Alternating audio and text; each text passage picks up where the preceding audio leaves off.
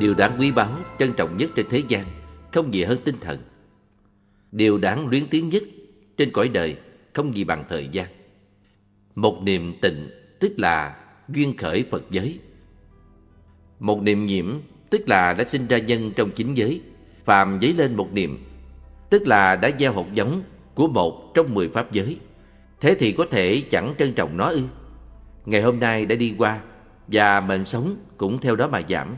Một tấc thời gian là một tấc sinh mệnh. Thế thì há có thể chặn núi tiếc đó ư?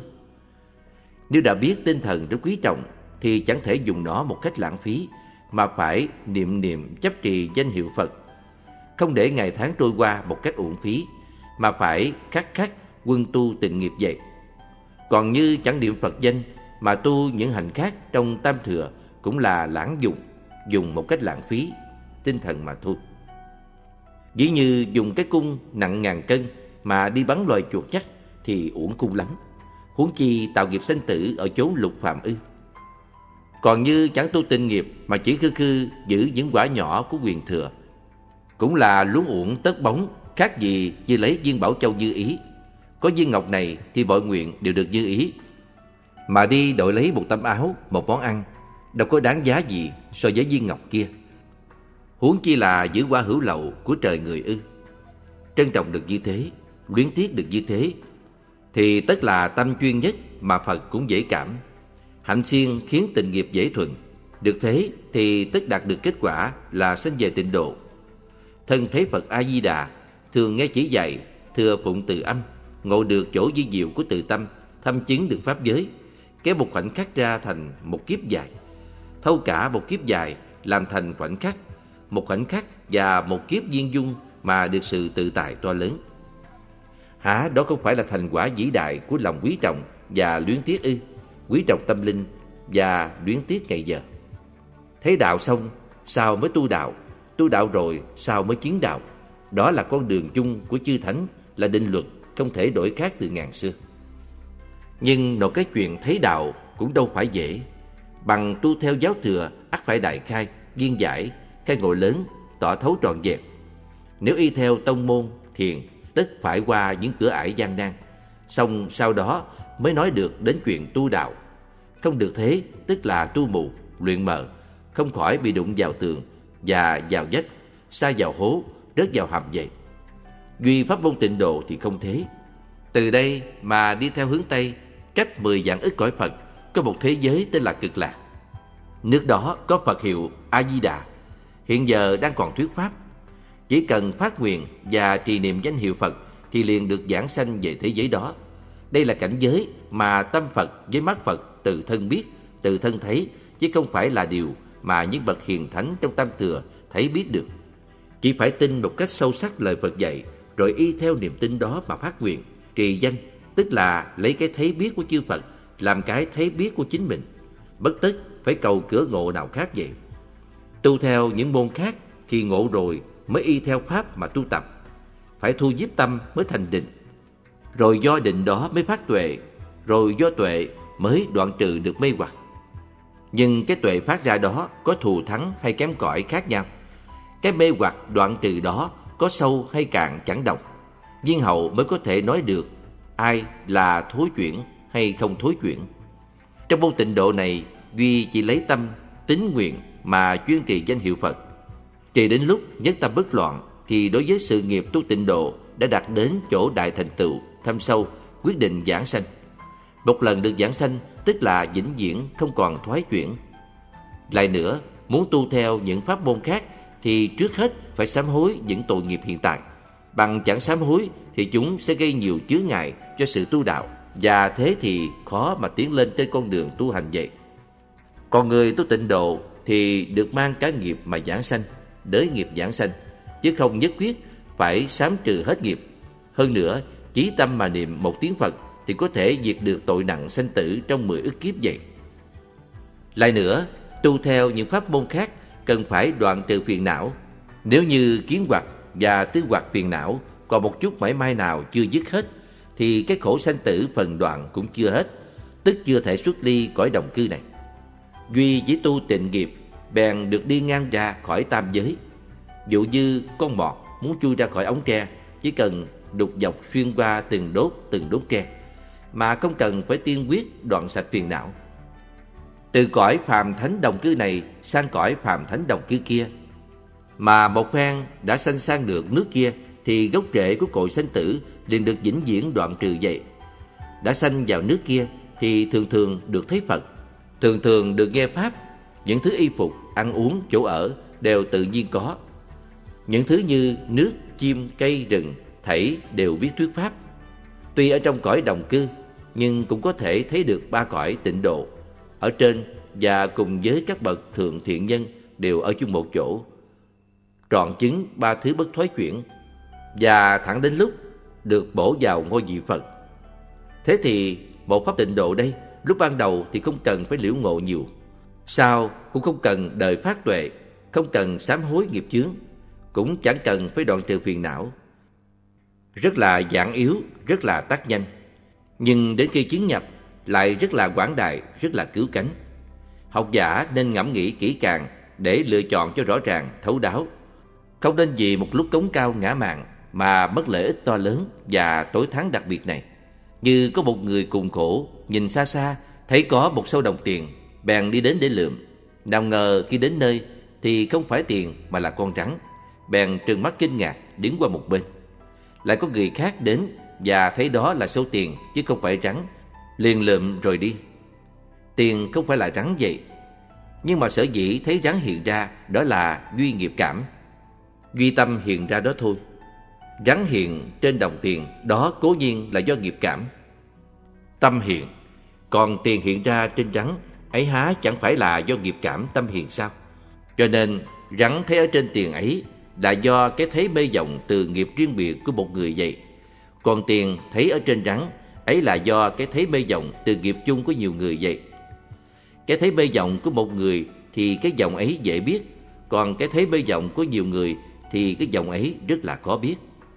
Nhưng nếu biết lấy cái dễ biết để làm thể lệ cho cái khó biết thì cái khó biết cũng quá thành dễ biết mà thôi.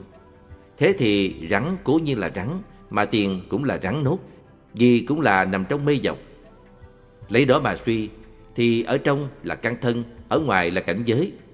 Từ một phương cho đến mười phương, cho đến tứ đại bồ châu, tam thiên đại thiên thế giới, thấy đều là rắn ở trên tiền vậy. Một khi con rắn duy tâm đã hiện ra, thì liền có thể nhả độc cho con người. Còn khi đồng tiền duy tâm đã hiện ra, thì con người liền được hưởng dụng. Tất cả sự đó nếu không bảo là duy tâm thì không có ngoại cảnh gì cả. Cõi ta bà ô quế, khổ sở, còn cõi cực lạc thì thanh tịnh an lạc, cả hai đều duy tâm hiện. Một khi duy tâm của cõi quế ác này đã hiện, thì tất gặp sự rất là khổ não bức bách. Còn duy tâm của cõi tịnh lạc hiện, thì được thụ dụng sự đại an lạc. Cõi trượt khổ và tịnh lạc đã đều là duy tâm hiện, thì sao chẳng bỏ cái duy tâm trượt khổ mà lấy cái duy tâm tịnh lạc để phải trải qua trong trường kiếp mà cam chịu bao nỗi thống khổ nung đốt mãi ru. Chỗ quan yếu trong dòng sinh tử của chúng ta duy ở hai thứ sức mạnh. Một là sức mạnh của tâm. Sức mạnh của tâm là sao? Tâm thì có nhiều mối, hễ chỗ nào nặng thì rơi về chỗ đó. Hai là sức mạnh của nghiệp. Thế nào là sức mạnh của nghiệp? Dụ như người mắc nợ, hễ mắc chỗ nào nhiều thì chỗ ấy sẽ mạnh mà kéo dắt ta trước. Nghiệp lực, sức mạnh của nghiệp rất mạnh, mà tâm lực, sức mạnh của tâm lại còn mạnh hơn. Vì nghiệp không có tánh riêng của chính nó mà toàn nương vào tâm. Tâm có khả năng tạo nghiệp thì cũng có khả năng chuyển nghiệp, cho nên tâm lực rất là trọng yếu, nghiệp lực rất là mạnh mẽ, lại có khả năng dẫn dắt chúng ta đi tái sanh.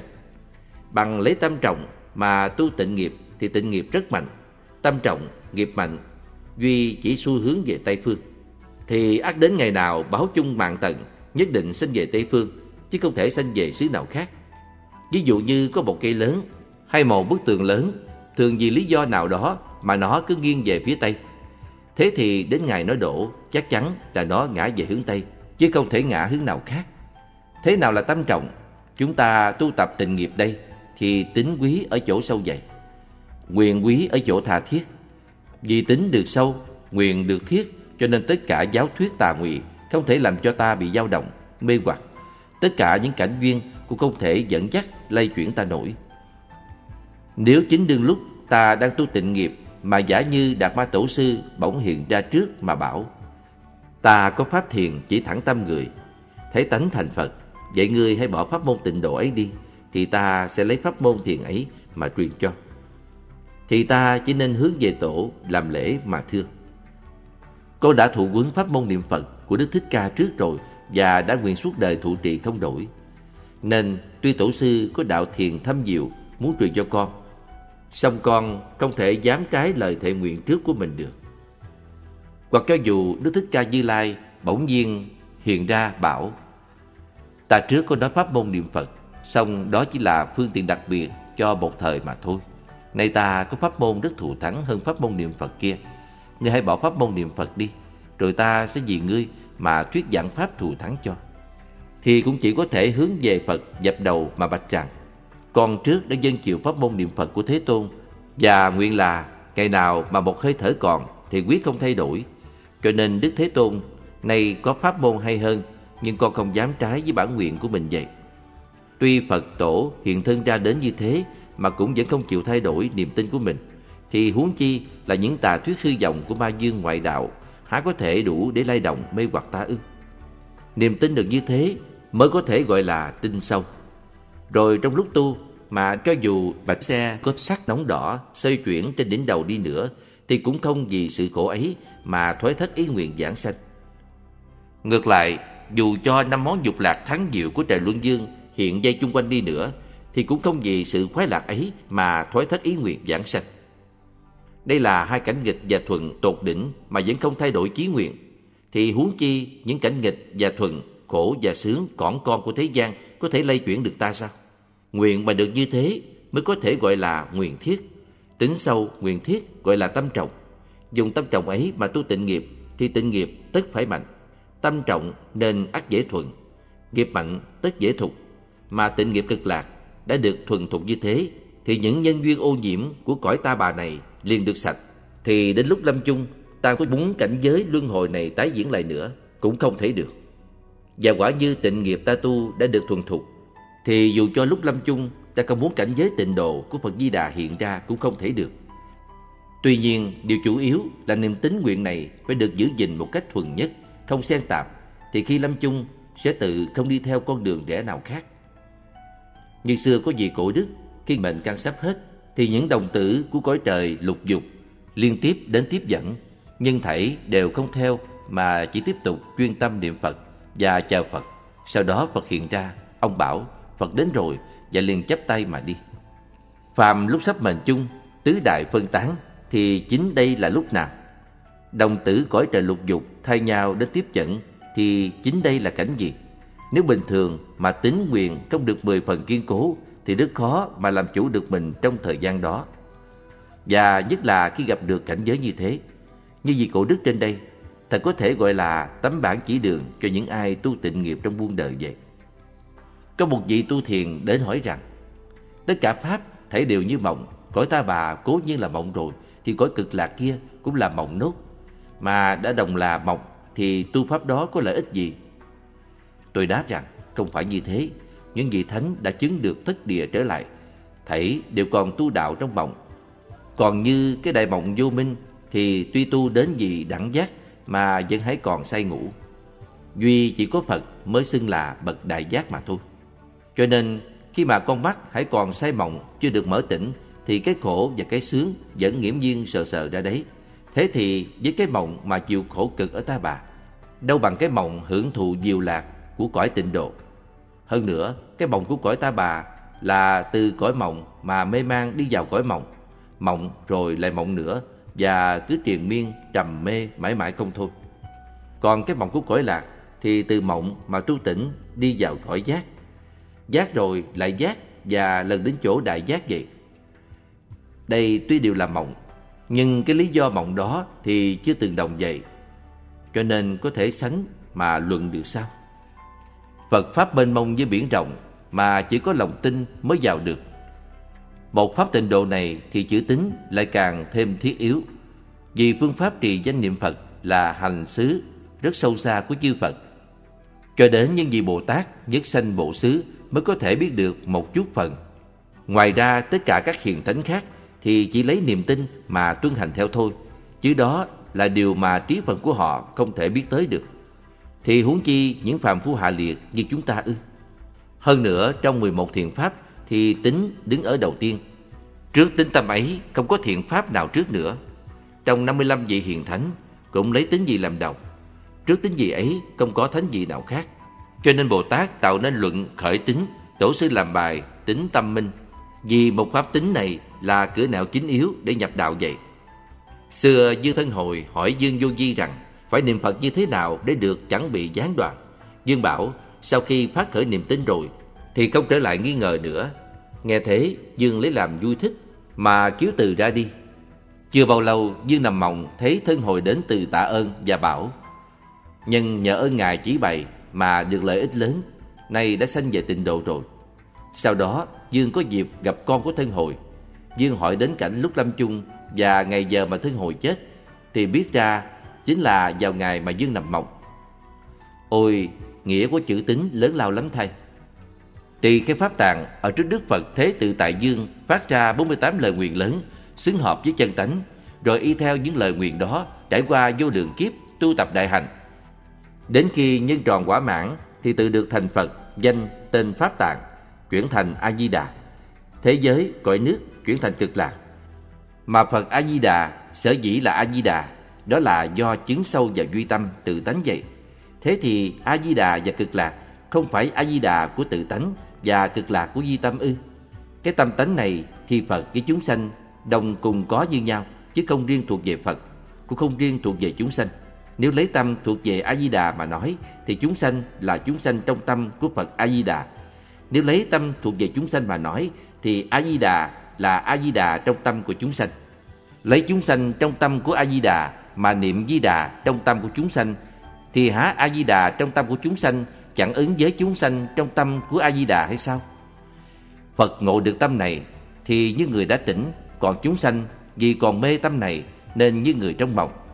Tách rời người tỉnh sẽ không có người trong mộng nào khác Thì há ngoài người mộng có thể có người tỉnh nào khác nữa được ư Nhưng người còn trong mộng thì trong lúc ấy không thể tự nhận được sự chân thật Và cũng không thể ra ngoài người đang trong mộng mà tìm được người tỉnh nào khác Xong người còn mộng phải thường nhớ nghĩ đến người tỉnh Nhớ rồi lại nhớ thì đại mộng sẽ dần dần tỉnh Mà con mắt mộng được mở rộng Tức người đang nhớ ở trong mộng lại là người tỉnh được nhớ đến và người tỉnh ấy không còn là người ở trong mộng nữa.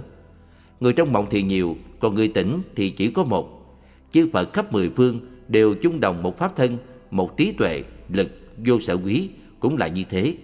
Đây chính là tức một mà tức nhiều, thường đồng mà thường khác.